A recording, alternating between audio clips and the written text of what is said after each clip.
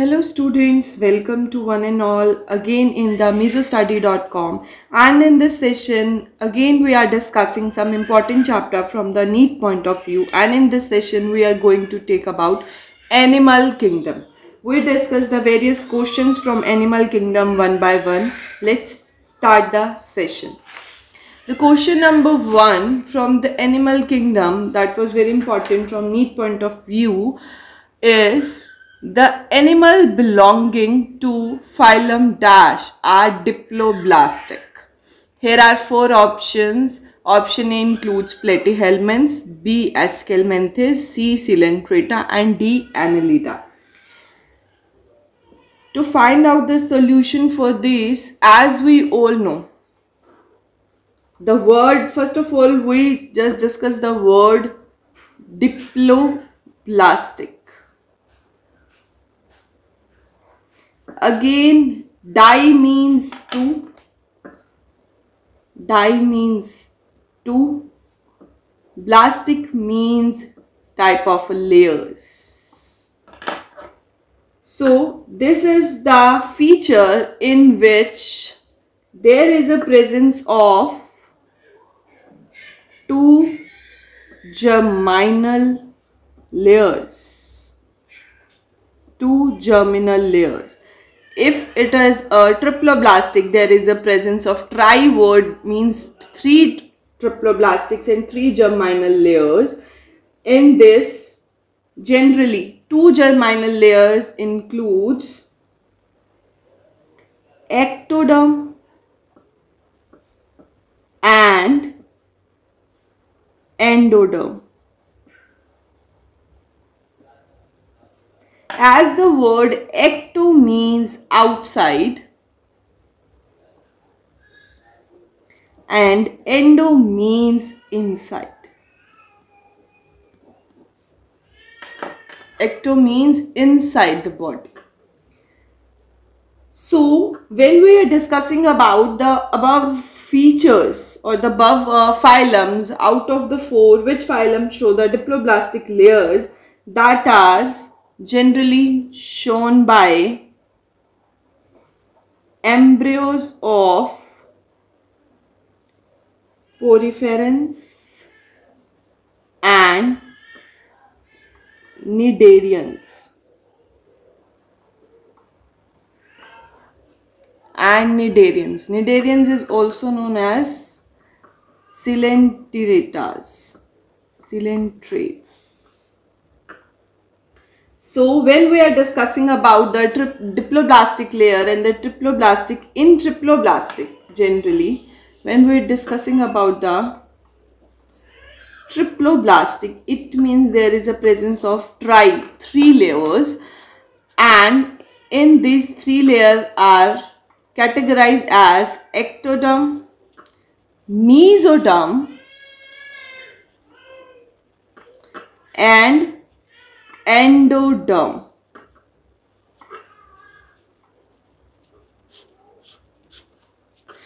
But the question is asking about the diploblastic only. So that are present in coelentrates out of four option that generally present in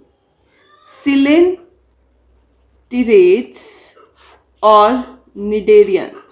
So the right answer is coelentrates. Let's move on to the question. So according to the discussion, the right answer for the question is option C. Let's move on to the next question. The next question is the formation of canal system in sponges is due to. The formation of canal system is discussed in sponges is due to option A folding of inner wall Option B, gastrovascular system. C, reproduction. D, porous wall. As we all know, when we discuss about the sponges in the cycons, there is a presence of various type of canal system. Why there is a canal system important? Because they take the various materials and the nutrients through the water. Again, release the excretory waste in the water that is removed out from the body. There are three basic type named as Ascon, Sycon and Leucon type of canal system. First, second and three. There are three types of canal system, Ascon, Sycon and Leucon as we discussed in phylum Porifera. All these come under in the phylum Porifera. Again, when we discuss about the canal system in sponges, that generally show the Sycon type of canal system. Sycon type of canal system that generally derived from that generally derived from asconoids asconoid. That asconoid derivation is generally by by horizontal folding by horizontal folding of whorls by horizontal foldings of various whorl it generally show the types of canal system that is Sycon type.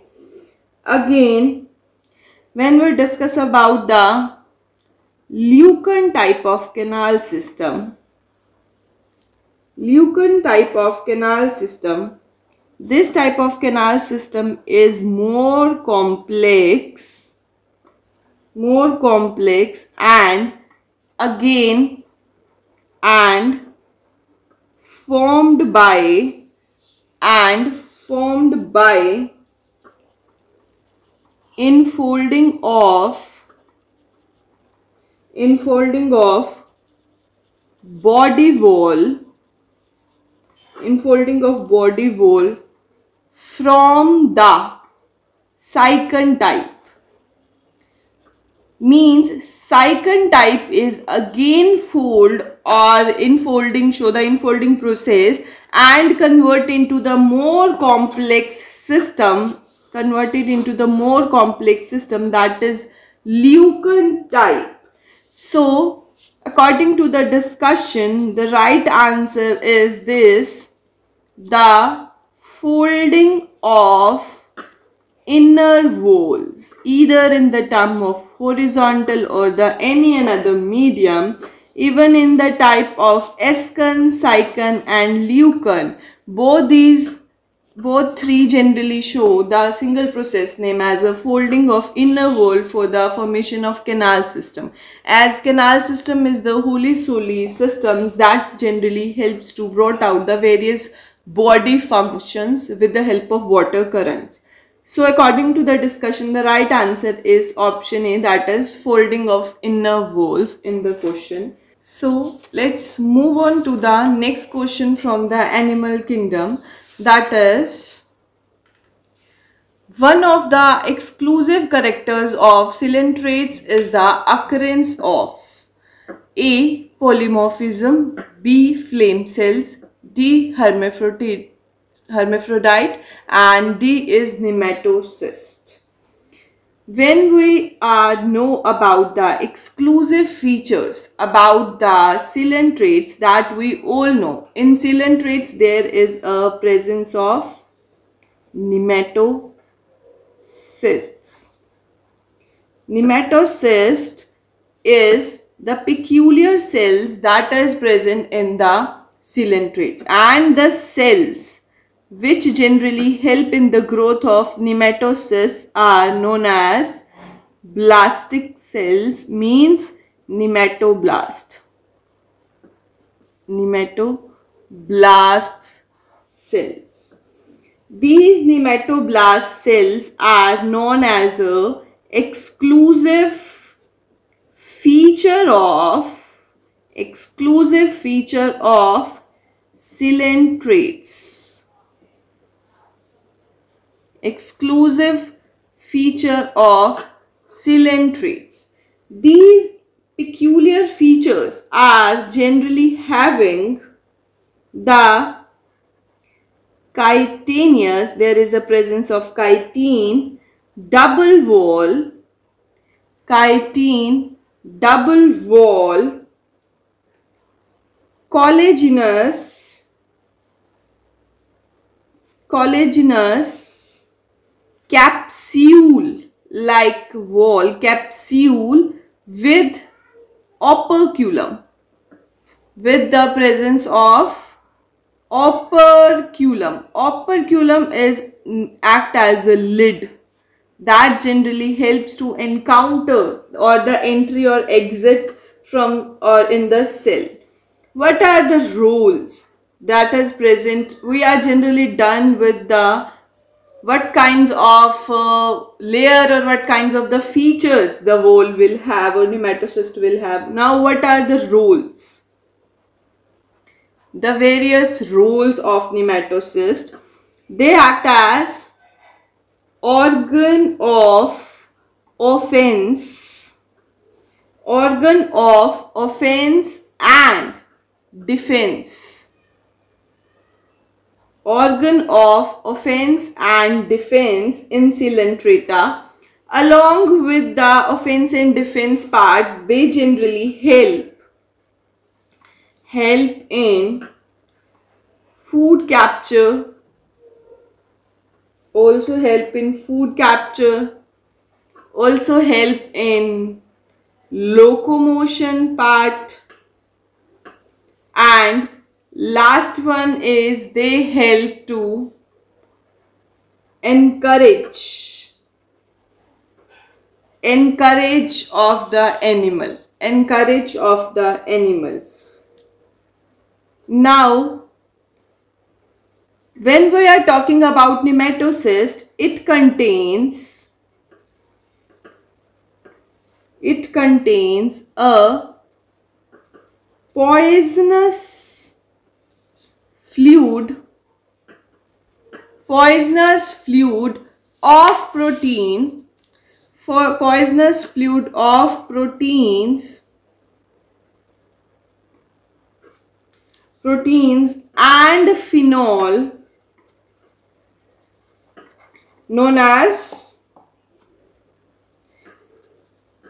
known as hypnotoxin. Hypnotoxin Due to this toxin only, they will act as organ to offense means protect itself and defense. Defense means they are able to protect itself and offense means they are capturing their food. So because of the presence of these poisonous fluid named as a hypnotoxin. So after discussing all these things, we generally know the exclusive and the peculiar features of coelentrates is the presence of nematocyst. That is the presence of nematocyst. So after discussing all this the right answer for the question is option D. That is the presence of nematocyst is the exclusive and the peculiar features of phylum Coelenterata let's move on to the next question. The next question is which one of the following is a matching pair? Out of the four options we have to find out the correct match pair of an animal and a certain phenomena or the features it exhibits. Option A includes pheretima, means sexual dimorphism. B. Musca shows complete metamorphism. C. Aphies, trophallaxis and D. Taenia, polymorphism. Out of these four options, only one is correctly matched and rest three are the wrong one in this case. To find out the correct one is in Musca. Musca, there is a development. When we are talking about the development of an organism, either it is a direct and indirect development as we are discussed in the session. In Musca, the development is development is indirect type. Development is incorrect, type or indirect type with metamorphosis. with metamorphosis. And these metamorphosis is of complete type. Complete type. Also known as holometabolism. Also known as a holometabolism. Including including complete cycle of four stages including four cycle or four stages. That are egg egg hatched out to the formation of larva larva converted into the pupa stage and pupa finally convert into the adult one these are the type of complete metamorphosis or holometabolism. When we are discussing about complete one, means the above which we are discussing in Musca, larva after hatching, larva after hatching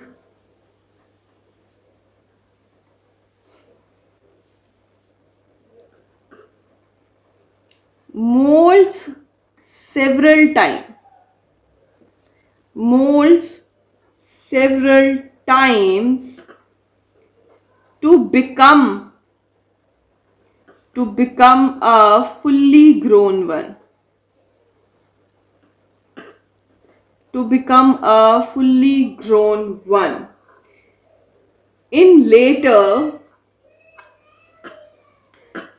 In later, when larvae convert into the completely pupa stage, pupa with in a secreted case, secreted case of puparium, puparium after this secretions of or accumulation of puparium in the larva, it will convert into the pupa stage. And then pupa stage is differentiated into young adult, young adult that breaks, that breaks the puparium wall, puparium breaks and come out. And come out emerges out. This is the growth in generally a mature form. Mature form. So after discussing all this the right answer for the question is about the musca in Musca only there is a presence of complete type of metamorphosis and the holometabolism because it generally includes the four stage that is egg converted into the larva, larva into pupa and pupa into again young adult. And from young adult it will convert into the mature adult. So according to the discussion the right answer for the question is Musca that is show complete type of metamorphosis. Let's move on to the next question.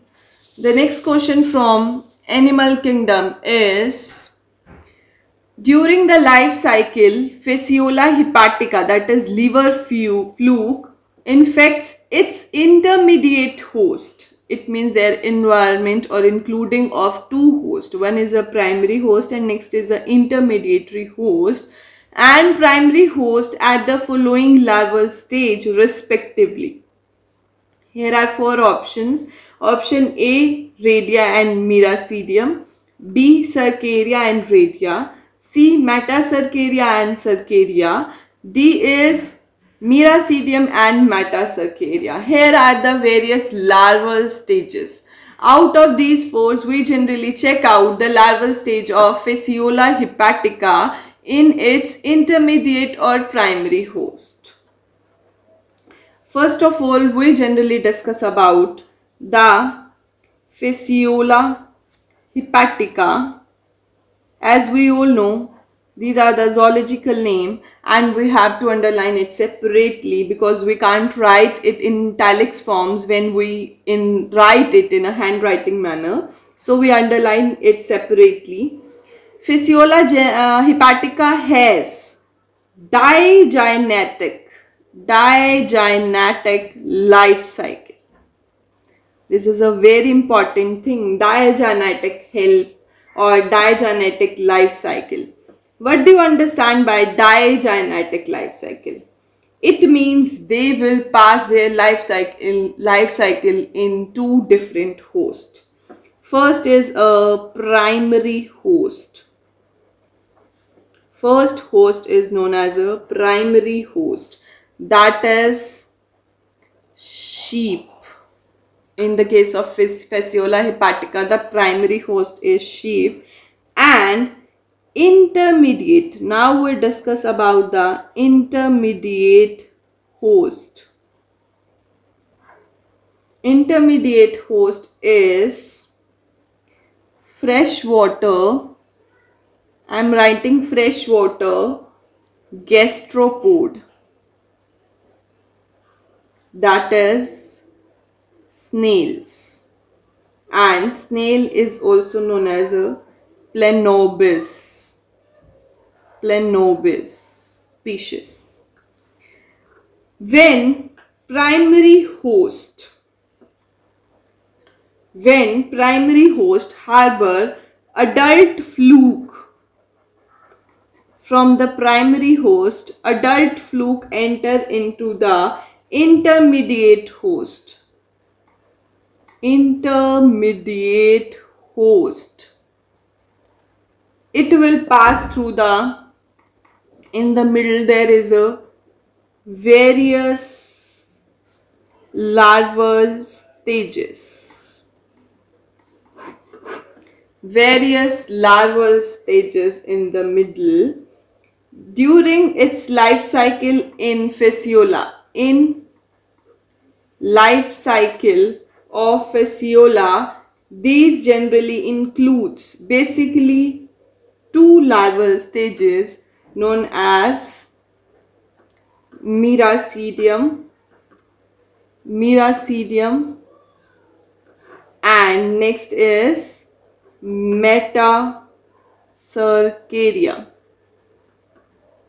Metacercaria. Here are the two major larval stages that adult fluke will opt that adult fluke will opt to transfer it from to sheep that is primary host to intermediate host that is snail and that generally transferring includes two larval stages. First is a miracidium and next is a metacercaria so along with the help of these two larval stages the Fasciola hepatica moves from primary host that is sheep to intermediate host that is snail also known as a planorbis. So the right answer for the question is the larval stage is Metacercaria and Miracidium. The option which include both the larval stages are the right one. So according to the discussion, the right answer for the question is option D that is Miracidium and Metacercaria. Let's move on to the next question. The next question from Animal Kingdom is biradial symmetry and lack of cnidoblast are the characteristics of. We are talking about two perspective. First is a biradial symmetry and cnidoblast absence. Here are four options. A is Hydra and Starfish, B Starfish and C Anemone. C is Ctenoplana and Beroe and D is Aurelia and Paramecia. When we are talking about the biradial symmetry first, biradial here are two features which we are talking about biradial symmetry and lack of lack of cnidoblasts. Lack of cnidoblast. These are the peculiar features in Ctenophora. Ctenophora. As we all know, example of Ctenophora are Ctenoplana and Beroe. As we are discussing about Beroe and Ctenoplana. Now we are discussing the various features of Ctenophora. As we all know, Ctenophora Ctenophora is a phylum. That generally show the exclusively marine marine invertebrates invertebrate animal. That animals is known as sea walnuts sea walnuts and comb jellies. Comb jellies. When we are talking about ctenophora, it means there is a presence of ciliated plates, ciliated plates known as ctenes and that ctenes is also known as combs that are these combs or ctenes are radially arranged. Radially arranged on spherical body. On body features or body type is of spherical type, spherical body. When we are talking about the phylum Cnidarians, or ctenophora in which again lack of it generally show the lack of whorl of tentacles lack of whorl of tentacles around the mouth around the mouth they also lack the specialized specialized stinking cells. As we all know, peculiar or special type of stinking cell is known as a cnidoblast.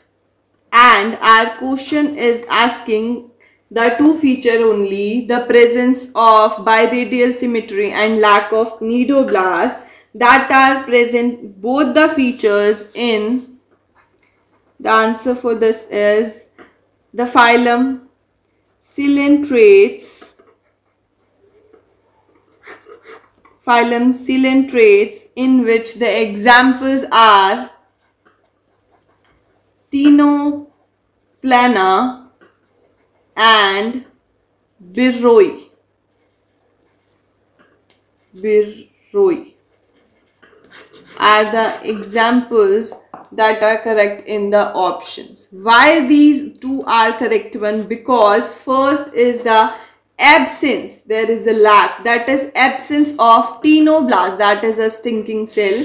And next one is the presence of radial symmetry that is biradial symmetry because our question is asking the two feature that is a biradial symmetry and lack of cnidoblast these two are the correctly match in option C that is Ctenoplana and Beroe. So option C is the right one in this case. Let's move on to the next question.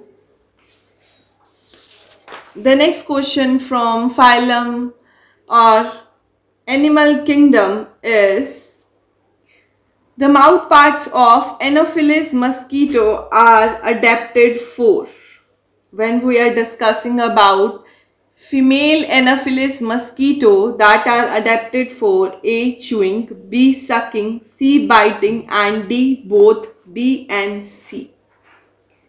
When we are discussing about the question, we all know the mouth parts of Anopheles is generally of sucking type.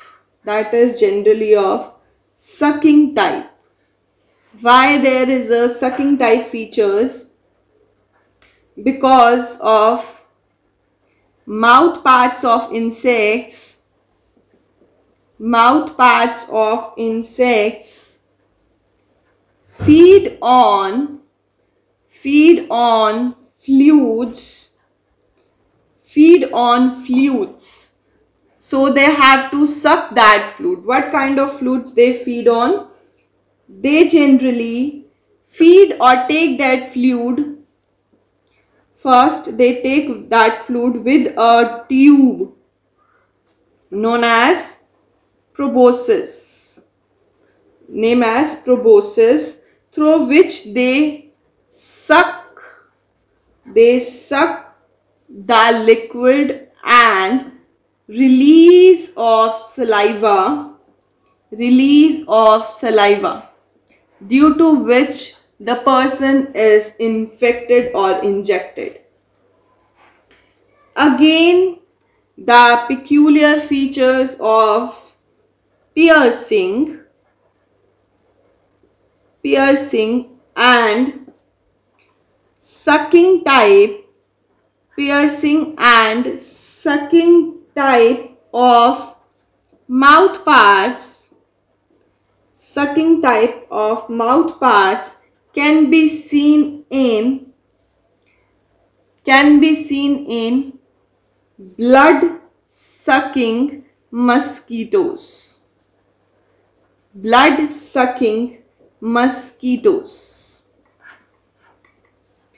These blood sucking mosquitoes and the best example for this is female Anopheles mosquito which show the sucking mouth parts which fed on various kinds of human beings and the various blood sucking organism female Anopheles.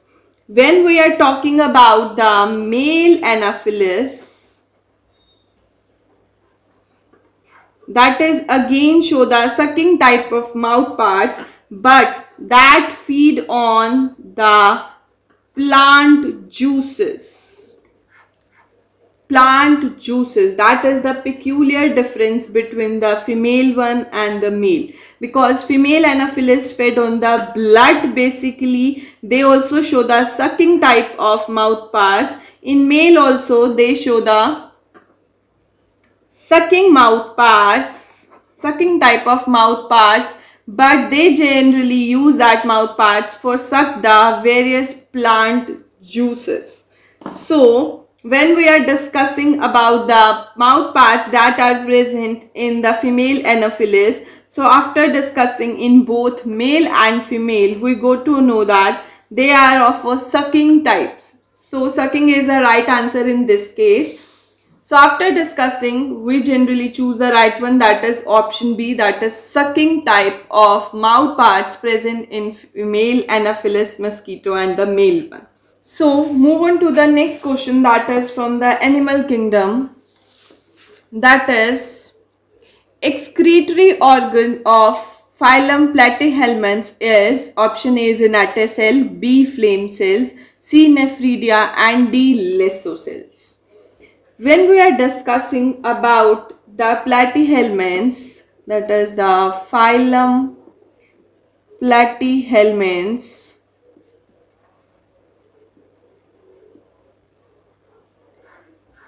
we all know there is a presence of flame cells. And that flame cells is the exclusive and peculiar or advanced features or specialized feature of phylum Platyhelminths.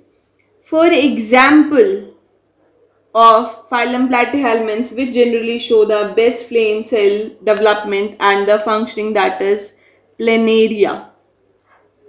That is planaria. Now, what are the flame cells? Now we are discussing what are flame cells. These flame cells are these flame cells are nucleated cell body nucleated cell body with cup shaped projections with cup shaped projections and they are the specialized they are known as a specialized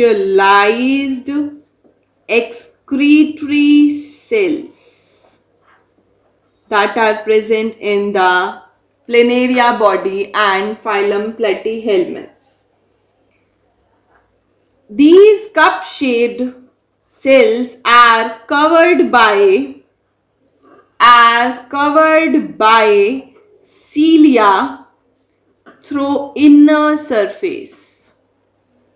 Through inner surface. What are the various roles of these cilia? These cilia show or beating of these cilias beating of cilias resemble a flame resemble a flame that's why the cell name as flame cells because of the beating effect because of the peculiar beating effects of these cilia. What are the various functions? The functions of these cell is the function of these cell is regulate the regulate the osmotic pressure regulate the osmotic pressure of worm.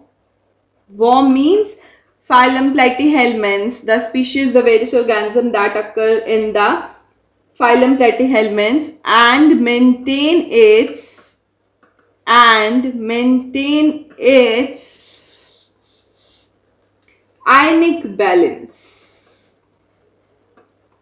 ionic balance. The various kinds of microvilli are also present at the end of the tube to reabsorb some ions. So when we are discussing about the special type of excretory organ that is phylum platyhelminths, we know that generally present in the form of flame cells. Why we name it as a flame cells? Because of the beating effect of cilia which show like the flame of a candle. That's why we name the cell as a flame cells. And that generally regulate the osmotic pressure and ionic balance. And there is a presence of some kind of microvilli in the cell that regulate this. So the right answer for the question is option B that is flame cell. So move on to the next question. The next question from animal kingdom is which cells are useful for feeding in sponges? A. Porocytes B. Collar cells C. Pinacocytes and D. Sclerocytes When we are talking about the feeding one, the feeding purpose, the feeding cells we know in the phylum Porifera or the sponges there is a collar cells also known as choanocytes also known as choanocytes which found in sponges these cells are basically flagellated. Flagellated type of collar cells, flagellated collar cells in sponges, flagellated collar cells in sponges maintain, helps to maintain the flow of food, the flow of food that food generally occur with the water. So with the help of collar cells, they man generally maintain the water current through the body and collar cells generally entrap the food particles present in the water. These collar cells presence are the peculiar features peculiar features of Porifera, phylum Porifera. These collar cells are, now what are the peculiar features of collar cells? Collar cells are uniflagellate means there is a presence of single flagella. Uniflagellate and collared. That's why the name is as collared cells. The beating effect of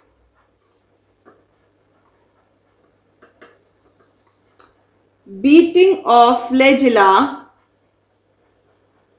beating of flagella creates water current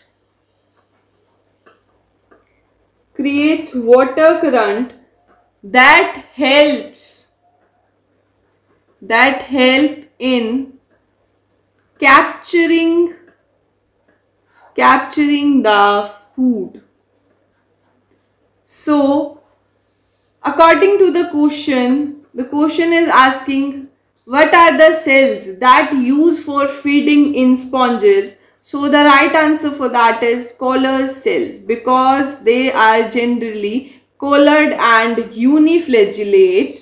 They are generally collared and uniflagellates and help the beating of their flagella to capturing the food and that is a peculiar feature shown by the phylum Porifera. So the right answer for the question is option B that is collar cell. Let's move on to the last question from phylum Animal Kingdom that is How are Annelida advanced over Nematoda? Option A are presence of hemoglobin in plasma. B are metameric segmentation. C. True and D. All of these. When we are discussing about the phylum nematodas, when we are talking about nematodes and nematoda, we generally know that they possess pseudocoelom. Pseudo means false, coelom means cavity pseudocoelom. Like the another annelids, they generally possess a well-developed fluid-filled fluid-filled coelom. Fluid-filled coelom. They have the proper blood vascular system blood vascular system and in this blood vascular system and in this blood vascular system they generally possess the hemoglobin presence hemoglobin presence in their plasma. So these above features are the evolutionary evolutionary advanced character of evolutionary advanced character of annelids over nematodes annelids over nematodes is showing the metameric metameric segmentation. So in the above discussing manner, annelids are more advanced from nematodes. So the right answer for the question is all features, all features including in the options help in the evolutionary advancement of annelids over nematodes. So the right answer for the question is option D, D that is all of these. All of these that is presence of hemoglobin in the plasma as we discussed in the solution part, metameric segmentation and true coelom. All these are the features shown by the annelids over nematodes. So D is the right option for this question. So this is all about the questions from animal kingdom. Stay tuned for the next session from misostudy.com. Thank you so much.